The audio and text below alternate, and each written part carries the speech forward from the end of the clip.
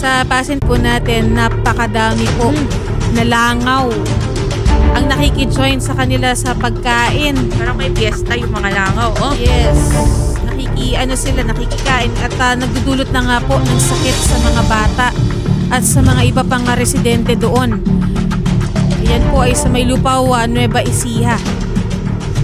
Kahit saang ah, gawing ah, sa kanilang ah, bahay ay ah, puro lang. Tapos yung tabi lamang po muli. Ah, sa Terra Grancia Agri Incorporated sa may wa- ah, Watari Venture Farm Incorporated. Mga pala ito. Mga, oh, kaya sabi ko madami sa Rich yata Food sila. Livestock Farm Integri Agro Industries Incorporated RDFL Amaranto Group Agri Farm Ama Farm and Mount Moria Farm. Napakadami. So parang kulang-kulang mga nasa walo siguro ito or pito. Pinalibutan kayo ma'am Kaya ng farm. nga eh. Okay. Ma'am Shari, total kayo po nandito. Kayo na po unahin kong tanongin ano. At ah, bakit po napakarami nitong inyong inireklamo? Ano po ba ang itsura nitong poultry farm na ito? Magkakadikit ba yan, ma'am? Ah, magkakahiwalay po. Bali po, sa isang barangay, sa barangay na Mulandayan, may apat po doon. Mhm. Sa barangay Parista po ay may tatlo. Mhm. At sa barangay Santo Domingo po ay may isa. Okay, so walo nga. Walo Tama po yung lahat. bilang natin. So, yan lang po yung napag-alaman ko. Hindi ko pa po alam kung higit pa dyan. At Kasi, i- itong mga poultry farms na ito, ma'am, ay malapit po sa mga kabahayan. ah, opo. Okay. At ito ay magkakadikit, yung, halimbawa yung apat, ma'am, magkakadikit ba sila na poultry farms? Ah, hindi naman po.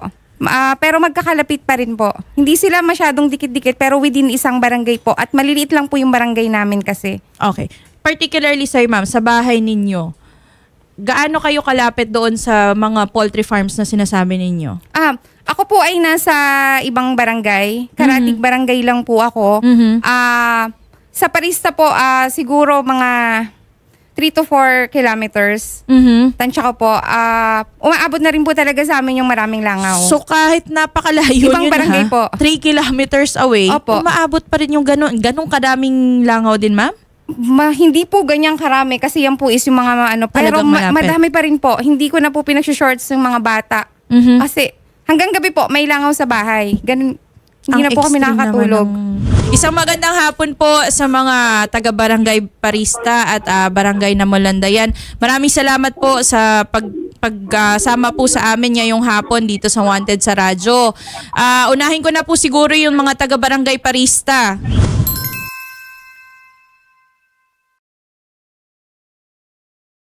Ah, every time po ma'am na nag-harvest po sila dito, nagkakaroon po ng maraming langaw. Na kung minsan po nagiging nagkakaroon pa po ng langaw outbreak. May langaw outbreak na kayo sa sobrang dami. Yes ma'am. Ko, kung yung nakita namin ma'am na video at pictures kanina ay pruweba po na talagang may outbreak, eh talagang maniniwala po kami sa sobrang dami po, kumpul-kumpul na mga ah, langaw na nakikita namin. So, ma'am Lilibet, kapag umaga, ganun nakadami agad yung langaw? Um, maghapon yan? Kahit minsan ma'am gabi lalo na po ma'am pagka ang mga niluluto po namin eh may isda or binagoongan talaga Opo. pong sobrang dami po ng langaw. Ano po ang nagawa na ma'am ng inyong barangay? Ah, yan dyan sa barangay Parista para po matigilan yung ganitong pangyayari? Noon ma'am tuwing, tuwing ano po nag spray po sila o kaya nagbibigay po sila ng ng pandikit po ma'am. Kaya lang po karamihan po kung hindi po kami humihingi or tumatawag wala ho silang aksyon. Simula kailan pa ma'am nangyayari yung ganitong sitwasyon sa inyo dyan sa Barangay Parista? Mula ma'am nung na nag-start po ma'am ang poultry dito. Anong taon yan ma'am? 2019 ma'am nung nag-umpisa ang poultry dito. So, four years. Four years nyo nang tinitiis yung ganyang sitwasyon. Tama ba ma'am Lilibet? Yes ma'am. Ano po ang naging aksyon? Lumapit na ba kayo ma'am sa ating ah, municipal health officer or sa inyo pong ah, probinsya? Kapitolyo? Dito po ma'am sa ano, nag-start po kami ma'am sa aming barangay tapos napunta po kami sa munisipyo. Hmm, ano po ang ginawa ng ating munisipyo ma'am? Nag ano lang po ma'am sila, nag-inspection. Hmm, tapos?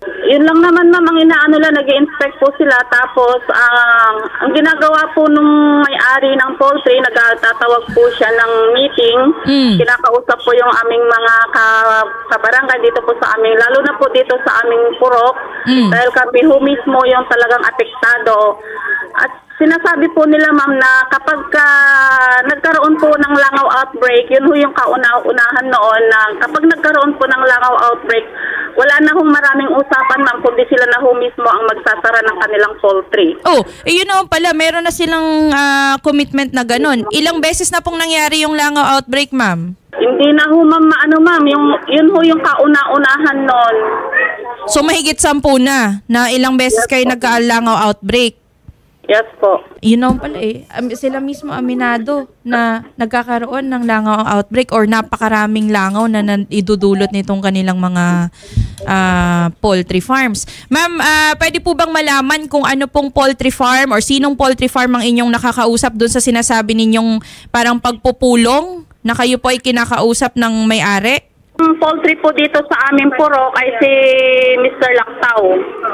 Mr. Laktaw. Ng ano pong poultry farm, ma'am? Amo- Amoranto, Amoranto ma'am. Okay, so si Amoranto Group Agri Farm yon. Moraya. Okay, okay. Sige po. Punta naman po tayo sa mga taga-barangay na Mulandayan. Isang magandang hapon po sa inyong lahat dyan, ma'am. So narinig niyo yung sitwasyon sa barangay Parista. Ganyan din po ba ang sitwasyon dyan sa barangay na Mulandayan? Pareho, mas malala po dito sa amin, ma'am. Bakit? May ikalalala pa ba yun, ma'am? Ano pong nangyayari dyan sa inyo dyan? Mas grabe po dito sa amin, lalo na po pag nagkasabay-sabay yung pagha-harvest nila. Hmm. Kano po karaming langaw ang ating pinag-uusapan? Kasi yung doon sa Barangay Parista, may outbreak. May langaw outbreak na po silang tinatawag. Sa inyo po dyan sa Barangay na Mulandayan, ganun din po ba?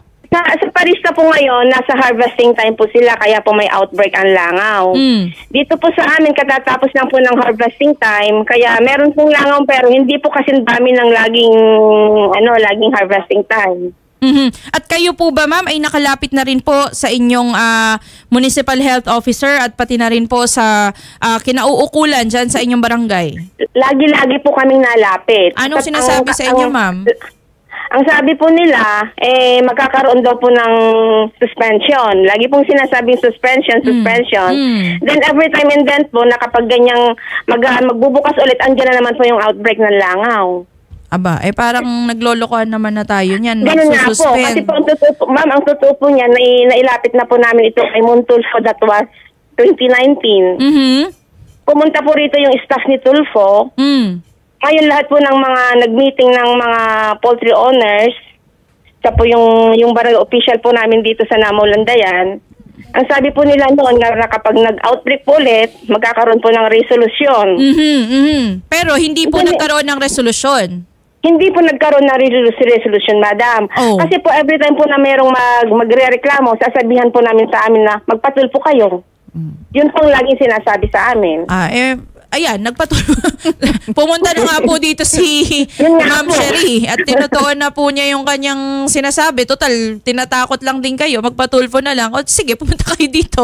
Di po ba? Opo. Oo. Ganun po laging sinasabi. Kasi nasasabihin po nila, punta po kayo sa munisipyo, doon po kayo magreklamo. So, ka- kanino po kami dapat lalapit? Tama po, tama po. Ito, attorney. Ah, nasa linya na rin po natin si Mr. Nathaniel Ballestar, Mhm. ang OIC po ng ah, Menro, Lupao, Nueva Ecija. And ah, gayon na rin po, nakastandby na rin yung ating ah, Penro, yung provincial naman po. Mhm. Okay. Oo, kasi dapat ito pangkalahatang issue ito buong probinsya na ng Nueva Ecija kung Opo. tama ang aking pagkakaintindi oh, ang affected dito sa pangyayaring ito. Magandang hapon po Sir Nathaniel. Apo, magandang hapon din po. Okay. Ah, si Attorney Pao po ito ng Access Party Lister at live po tayo ngayon dito sa Wanted sa Radyo. Sir, marami po tayong mga residente dito ng Barangay Namulandayan at Barangay Parista na kasama at ah, idinadaing po ang kanilang nauna ng reklamo ukol po sa napakaraming poultry farms dyan sa kanilang mga barangay.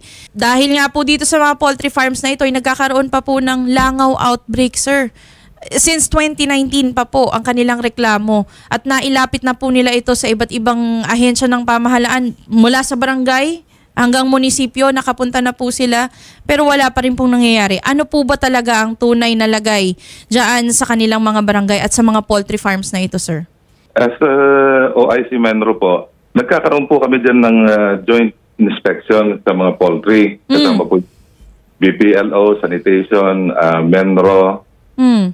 At saka mga representative po ng barangay. Ah, twice a week po yan na ginagawa. Depende po sa naririnig namin na outbreak. Mm.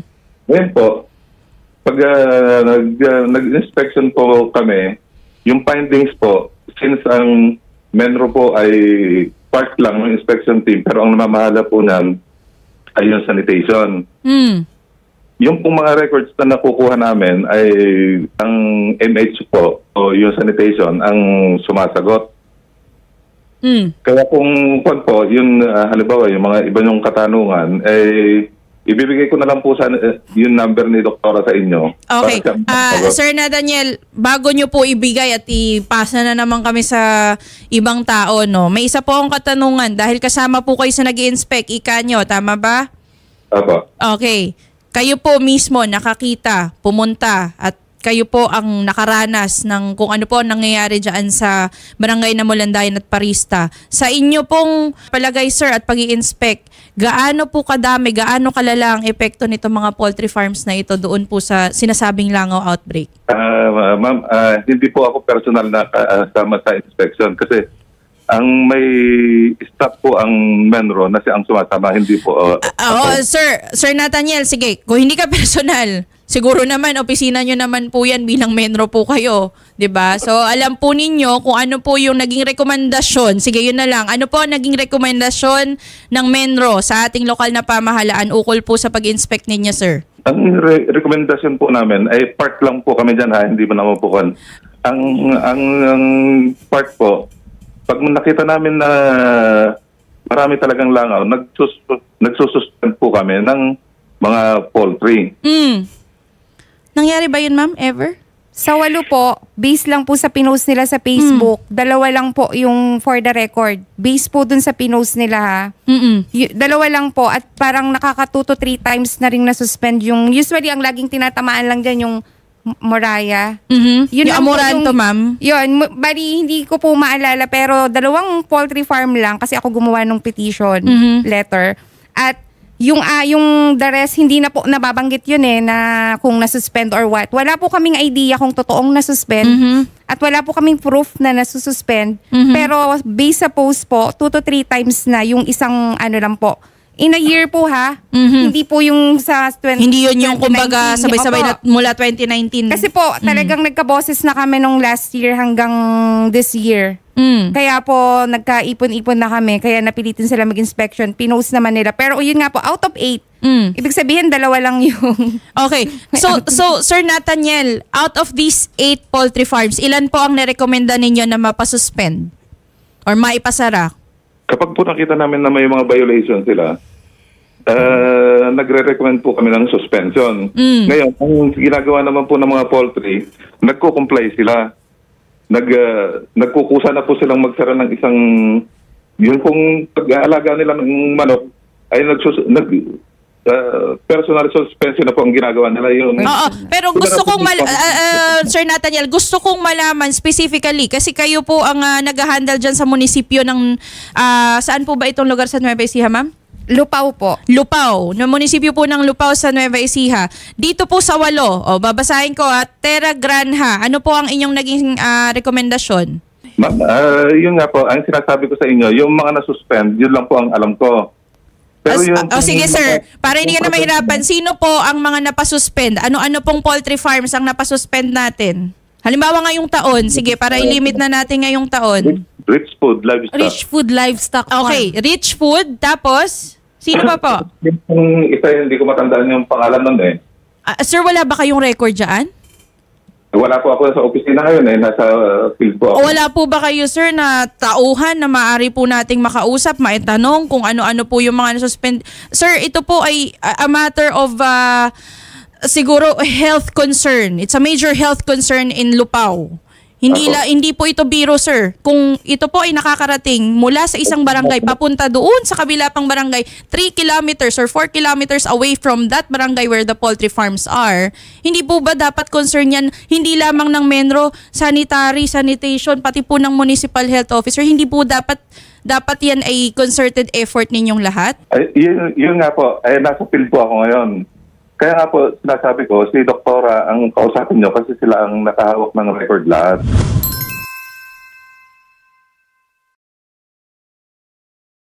Sir Jerry Fernandez po.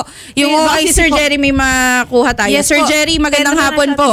Kaya nga. Magandang eh. hapon, Provincial po. magandang hapon po. Yes, Ah, Sir- sa Sir kasalukuyan Jerry. Po, nagpapun- nagpapunta na ho kami ng staff concern namin para Yun. pupunta kay probe Salamat. With respect to compliance ng mga poultry, Mhm. poultry farms with their uh, terms with the terms and conditions ng uh, kanilang environmental compliance certificate. Ayan ang Pati sinasabi natin, Sir. Jerry. Maraming maraming salamat po. At least may may sumagot po sa ating concern kasi ah, hindi no offense po kay Sir Nathaniel. I don't know where he is kung ano po yung kanyang field na sinasabi, no. Pero at the very least bilang siya po ang humahandle po ng ah, munisipyo ng Lupao as Menro, dapat aware po siya sa ganitong mga pangyayari, hindi po ba? Ayaw po so, sa sanitation kwan yan eh, concern eh. Kaya nga po. So dapat alam din po nila 'yan. Opo, opo. Sige po. Ay, Dami tuloy naman. niyo po Sir Jerry kung ano po yung naging action ninyo. Nagpapunta na ho kami ng uh, uh, mga staff namin Mhm. ngayon. Of course, uh, siguro i malamang iikutan nila yung uh, Namulandayan, Mhm. Parista, and uh, yung nabanggit niyo kanina, yung Santo Domingo, Opo. uh, in coordination with uh, barangay and uh, municipal LGUs po. Okay. Sir Jerry, may tanong po Of ako. course, yung mga sa complainant din para Mhm. uh, transparent yung pag-conduct ng uh, ng uh, probe po. Okay, okay. Isasama yung mga complainants po. Sige po. Sir Jerry, is this the first time na narinig niyo po itong concern na ito or itong ireklamo na ito? Kaya opo. Kasi ang ma- maraming nagrereklamo rin pati sa munisip, hindi sa Lupao eh. Hmm. Peñaranda. People rin within uh, within uh, the province of Nueva Ecija, no? Like Mm. sa Haen, Hmm. meron pa isa eh. Peñaranda. Pero na-resolve namin. Okay, so na-resolve na yung iba. Opo. Yung iba talagang uh, suspended. Mhm. Even dito sa Palayan. Mhm. Na voluntarily, eh, nagsara na. At nai-inspect din po ba sila sir ng EMB? Are you aware kung meron po silang mga violations na or notices of violation na nare-receive po mula sa ating DNR sa compliances din nila? Opo, meron po. Dito sa Palayan, meron po. So hanggang ngayon, simula nung na-issuehan sila ng notice of violation, wala pa rin, hindi pa rin sila napapasuspindi. Nag-stop na po sila ng operations. Pero itong walo na to, sir, itong walo na to sa Barangay Parista at Namulandayan, Ah, wala pa din. So, sorry, ngayon ko lang po ah, na, nalaman yung ah, Mm-mm. complaint na sa Lupao po. Sige po. Pero Kaya ayaan niyo po at nagpapunta na ho kami ng ano, mga staff concern namin doon Mhm. sa tatlong barangays na nabanggit niyo po. Okay. Ano po ang long-term solution ninyo, sir, bilang kayo po ang Penro? Kayo po ang ah, nag-oversee dyan sa Nueva Ecija. Ano po ang ah, long-term solution nyo dito? Regular monitoring Mhm. ng kanilang operations po. Joint siguro with the municipal LGUs and barangay LGU po. Mm. And kung talagang ah, ah, may violation talaga sila, i-suspend or cancellation po ng ah, ng ah, kanilang ECC po. Ayun. Buti pa si Sir Jerry. Maraming maraming salamat, Salamat po. Sir Jerry at meron pong naging solusyon mula po sa ating Penro at Ma'am ah, Sherry, at least may naging kasagutan po para po doon sa inyong concern. I- Okay? yes po, attorney. Thank you po. Bali po, para maging formal at to make sure na may papel yan, may, di ba po may petition ako? Mhm. Yun po yung mismong ipapasa ko para yun po yung ipaprocess nila at yun po yung lagi kong ipa-follow up. Yes. Tama po Pwede yan, ma'am. Ma'am, ah, pwede pong isend nyo sa amin yung ah, names ng complainants with their ah, contact numbers Yes po. para makontak namin sila in the course of the conduct ng ah, probe po, ng investigation po. Yes, at maraming maraming salamat Sir Jerry at binigyan niyo po kami ng panahon at agad-agad po kayong umaksyon sa aming idinadaing sa inyo. No? Pero puntahan muna natin, makakausap natin live si Governor Aurelio Umali na po mismo Oh, ng po. probinsya po ng Nueva Thank you po, Ecija thank you po. para po ma-address po itong concern na to. Isang magandang hapon po, Governor Umali, sir. Yes, uh, magandang salamat. hapon sa inyong lahat. At Sir. about the Opo, maraming maraming salamat ah, po sa pagtanggap po ng aming tawag, sir. So, actually, I, I uh, earliest this year, Mhm. we put up, we put up through executive order yung task force kalikasan. Kasi marami talagang reklamo na from the barangay level hindi kayang aksyonan. For whatever reason, ang dahilan nila, at kahit sa municipal level, medyo may problema. Sabi ko, kaya ang tinayo namin task force kalikasan, para lahat kasama na, barangay, munisipyo, probinsya, at sinama namin dito yung private sector, Mhm. saka leaders of the faith, para sigurado magkaroon ng transparency. Kasi kalimitan na maghahanap po ito, these are people na sabihin natin may kakayanan. Mhm. And uh, at kung paano sila naitayo, kasi siyempre pag tayo dyan, sa barangay at munisipyo yan, or city for that matter. Mhm. So, sa dami po nung ano, ah, reklamo, may mga napasara na. Tama. Meron namang uh, isinara, let's say, sa Talavera, isinara for some time, nung na-compliant na sila, so binuksan uli.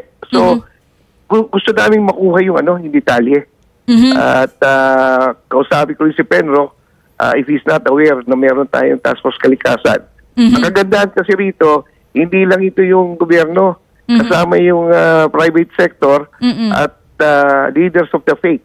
Mhm. Para yung reklamo, kung sino man yan, kung may, may influensya man yan, Yes po. ano yun, eh, ito, transparent tayo.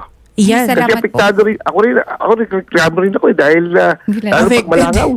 Yung ultimo si Totoo po. Governor, Wala affected yung bahay nila. Kaya kaya tinayo namin yung task kalikasan kasi nga we do not hindi naman kami kontra sa livestock na alam mo naman Tama. ano yan eh ah, kailangan naman natin yan no? Tama po. Ah, sa para sa pagkain lahat yun Mhm. kaya lang sabi ko yung negosyo nyo immune with public interest huwag naman yung at the expense of the ano the Health people, of the public. ninyo. Tama.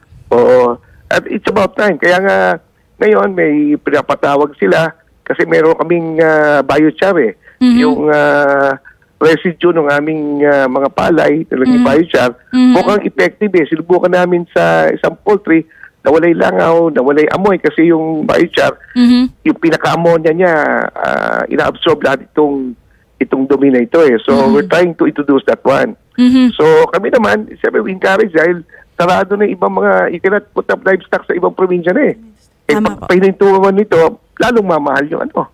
Mamahal itong mga, itong mga poultry, itong mga manok at baboy. Mm-mm. Kaya lang, dapat naman magkaroon tayo ng guidelines. Tama po, tama po. At ah, yan yung sinasabi ko kanina, Shari. At ah, thank you so much, Governor Umali, ano, sa pag-point Kunin ko out lang niyan. yung detalye kasi yung, yung initially, pinatawa ko kayo, nasa daan kasi ako eh. Mhm. Ah, nakuha ko sa Lupao. So, pupuntahan na yung Lupao eh. Kasi Hmm. task force, meron kaming group chat na sa, eh, isi-share ko rin sa inyo para Sige makita po. ninyo kung sino yung mga composition nito. Para, pag may reklamo kasi, malapit man sa akin, pasensya dahil meron kaming ano eh, transparent. Para Tama hindi po. makalapit. Oh, yun yung reason why we put up the executive order, task force kalikasan. Para Yung yung mga kalikasan na pala. Oh, meron kami na we- we'll, ano, we'll provide you a copy Mhm. tapos yung mga membership at saka yung group chat the way we are handling it.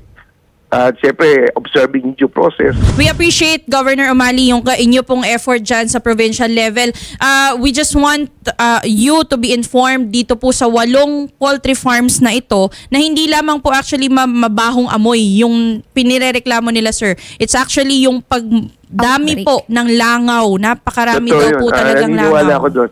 Naniwala, I, I just need to get the, the details. Maraming maraming salamat po Governor Umali sa inyong oras ngayong hapon. Alam po namin na kayo po ay sobrang busy ngunit kayo po ay nagbigay po ng panahon sa amin. Ah, baka po meron kayong mensahe sir sa inyo pong mga constituents dito sa Barangay Parista na Molandayan at baka maski na rin po sa Lupaw. Eh, siguro, unang pasalamat ako sa programa ninyo dahil natutulungan ninyo yung mga ah, kababayan namin na hindi alam kung saan pupunta. Mhm. So, ah, malaking bagay yun. At kami naman, ah, makasama ninyo kami dyan dahil ako mismo personally nagre-reklamo ako sa Malangaw. Meron pong mensahe sa inyo ang isang niyo pong constituent, si Ma'am Sherry. Siya po ang ah, nanguna dito sa Tul- uh, Rafi Tulfo in Action para po ireklamo ito. Sige po. Apo, Sige, ah, sige. Gov, gusto ko lang pong malaman nyo na kung bakit umabot yung mamamayan ng lupaw dito sa Tulpo. Kasi po kami, Nagtatanong po talaga kami, pumupunta kami sa munisipyo, tinatanong namin yung mga tao doon. Hindi po nila kami kinakausap ng maayos. Na, nababastos Ah, po ba? kami. Alam po, alam ko po kung saan lalapit. Actually, alam ko nga po na sa Bureau of Animal and Industry. Oo. Alam ko po yung mga pupuntahan. Kaya lang po, yung mga kailangan namin na na mga nagawin, mga pictures. Hindi po namin tinatakot po kami sa barangay, tinatakot po kami sa munisipyo, binabastos po kami. Opo. Kaya po, Okay na hindi kami makalapit. Nakaalalay na sa atin si Governor. Gov na Chairman, po kunin, yan. kunin ko lang yung Opo. Pakibigay sa amin yung ano yung Detalye. ah, telepono ni Sherry tsaka yung detalye. Opo. Yes, sir. At, at ay, ayusin natin yung problema. Opo, Opo. thank you po. Oh, Salamat po sa inyo lahat. Salamat. Maraming maraming salamat po Governor Aurelio Umali ng Nueva Ecija. Ma'am Sherry, naintindihan po namin ano na ah, Apo. kagaya po ng iba nating mga kababayan na lumalapit din po kay Senator Raffy, hindi naman po ito first time. Talagang alam naman nila kung saan pupunta pero hindi po talaga na-assist ng maayos. So kami po, we really appreciate at kami po ay nagpapasalamat sa paglapit po nyo dito. Maski po sa mga kasama natin online, no, sa mga taga-barangay Parista at Barangay Namulandayan, kami po ay lubos na nagpapasalamat sa pagtitiwala po sa Wanted sa Radyo at kay Senator Raffy Tulfo. Narinig nyo naman po mula po sa inyong governor mismo. Apo. Aaksyonan po nila agad. Maski po kay Sir Jerry Fernandez ang ng Penro, paiimbestigahan po nila agad at in fact nagpadala na po sila ng tao at kami rin po dito sa Wanted sa Radyo Ma'am hindi rin po kami titigil hanggat hindi po natin masolusyonan itong problema na ito. Thank you po. Maraming maraming salamat po. Ah, para po sa mga taga Barangay Barista baka meron po kayong mensahe kay Senator Idol nanonood po siya ngayon. Nagpapasalamat po kami ma'am dito sa aming barangay Parista sa agarang action po. Na- Sana po ah, hindi lamang po sa ano kundi mapuntahan din po ni Sir Rafi itong aming lugar para siya ho mismo yung makakita ng mga sitwasyon po namin dito. Mm, baka may gusto kang sabihin sa kanya ma'am bukod sa pagpunta dyan. Ah, nagpapasalamat po kami ma'am dahil ah, na, sabi na po namin ma'am yung aming mga saloobin tungkol po dito sa sitwasyon po namin dito sa aming barangay. Maraming maraming salamat po sa sa aming sa aming mga kasamahan dito sa aming barangay. Nap- Napakatagal po naming problema ito. Maraming maraming salamat po Senator Rafi Tulfo kung ito'y talagang mapagbibigyan po ninyo ang aming kahilingan. Ako po- ako mismo personally po na humihingi ay ah, ah, nagbi ah, anong tawag doon, nagpapasalamat ng taus puso po sa inyo. Sana nga po, sana nga po. Okay. Okay na Papagbigyan yun, ma'am. Ah, nakausap na po natin si Gov. Si Gov nga affected nung mga langaw outbreak. So malamang talagang ano, ah, malala yung langaw infest, infestation sa kanila dyan sa Nueva Ecija. Okay ma'am, sige po, kausapin po namin kayo sa kabilang Thank studio. you so much Salamat po. Thank you. At, maraming salamat po sa inyong lahat dyan. Yes po, at sa mga taga Lupao, Nueva Ecija, maraming maraming salamat. Antayin niyo lang ma'am yung tawag ng aming reporter at yung reporter po mismo ma'am ang ah, sasama sa inyo at kung maaari, maisama natin si Governor Umali no? Mm, mas para maganda yun. maka-inspection po dyan sa inyong lugar dahil hindi lang po iisa, dadalawa, tatatlo. Walo. Walong ah, poultry po ang Tama. ah, inirereklamo.